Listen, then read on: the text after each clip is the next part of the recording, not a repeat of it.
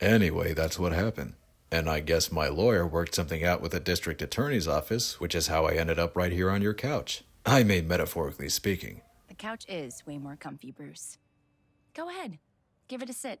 That's all right. I don't intend to take up much of your time, Doc. I'm not what you'd call the belly aching type. Oh, no, of course. But there is this issue of felony assault. And a bit of belly aching was part of your no jail time deal. Well, right, but I. All you have to do is a few weeks of therapy. Easy as pie, hun. So, given the stakes, I think we should take as much time as we need. Hmm?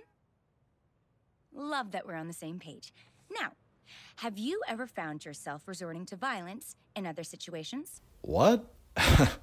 Come on. Do I look like a guy who would go around blowing his top? Appearances are often deceptive. And the fact is, Bruce, you did blow your top. Look, the guy made a crack about my mother, so I popped him one, as anyone would have done.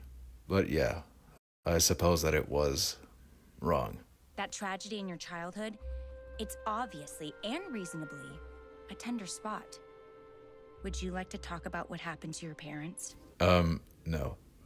Look, that was a long time ago, and it was awful, but I'm a grown man now. I don't even think about it anymore. How was therapy, Master Bruce? A waste of time. Doc thinks she can get inside my head. Not gonna happen.